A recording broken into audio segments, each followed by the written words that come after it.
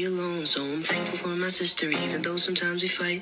When high school wasn't easy, she's the reason I survived. I know she never leave me, and I hate to see her cry. So I wrote this verse to tell her that I'm always by her side. I wrote this verse to tell her that I'm always by her side. I wrote this verse to tell her that the world's not perfect, but it's not that bad